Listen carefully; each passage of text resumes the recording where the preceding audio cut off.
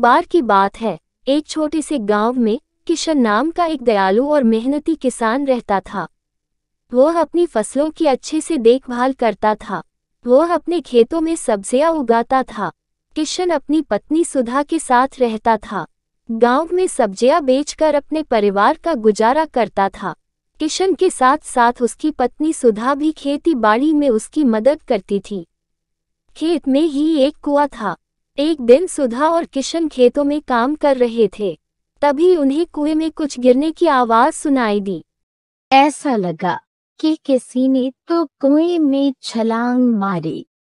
हाँ हाँ मुझे भी ऐसा ही लगा। चलो देखते हैं। कुएँ के अंदर झाँक कर देखते हैं।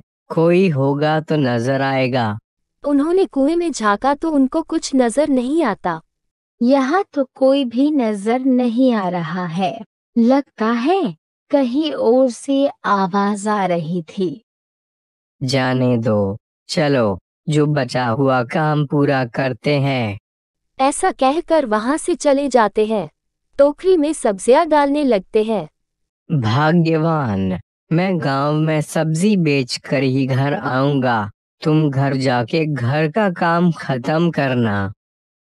ठीक है जी। किशन गाँव में सब्ज़ी बेचने चला जाता है। सुधा घर चली जाती है। दूसरे दिन किशन अकेले ही खेतों में चला जाता है, क्योंकि उसे खेत में पानी देना था। मगर मोटर काम नहीं कर रही थी, इसलिए वह उसे देखने लगता है। जब वह मोटर चलने लगती है तो खेत में पानी आने लगता है। मगर इस काम में बहुत देर हो जाती है। सब्जियों में पानी देने के बाद जब किशन मोटर बंद करने जाता है, तब उसकी नज़र कुएँ पर पड़ती है।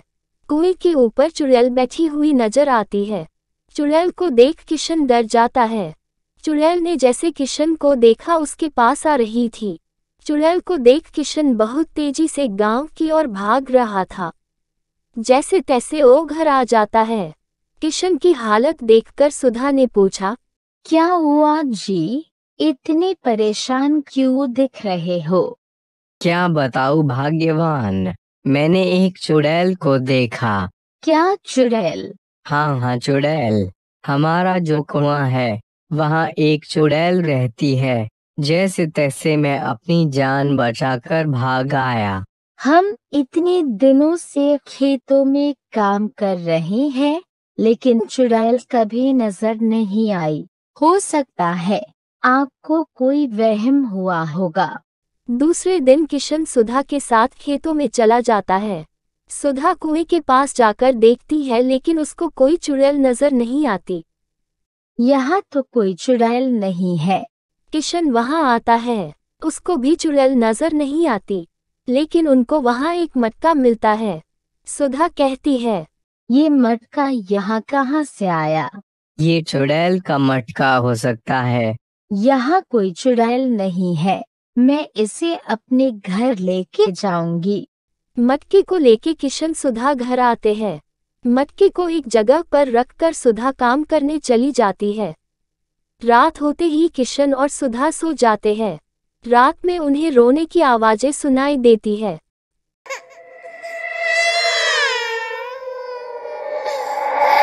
आवाज़ से सुधा और किशन की नींद खुल जाती है। ये कैसी अजीब आवाज़ें आ रही है। चलो देखते हैं। ये आवाज़ें कहाँ से आ रही है? वहाँ उनको कोई नज़र नहीं आता लेकिन मटके को हिलते हुए देखते हैं। किशन कहता है यह मटका क्यों हिल रहा है? खिड़की खुली है खाली मटका है। हवे से हिल रहा होगा। वो दोनों सोने चले जाते हैं। कुछ समय बाद आधी रात का वक्त हो चुका होता है। उसके बाद फिर से उन्हें आवाज़ें सुनाई देती है।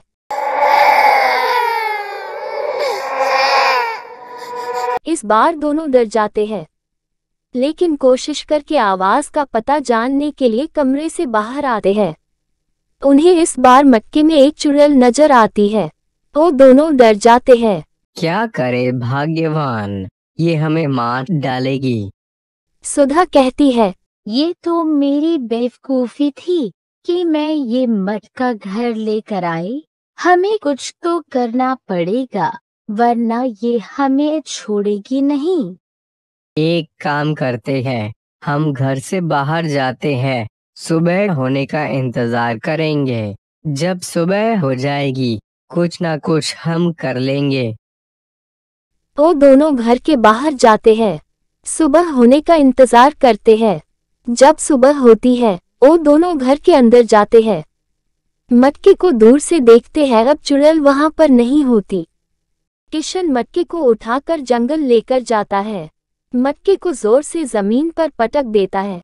इस बारे में सोचते हैं कि जीवन में कभी भी ऐसा काम नहीं करेंगे।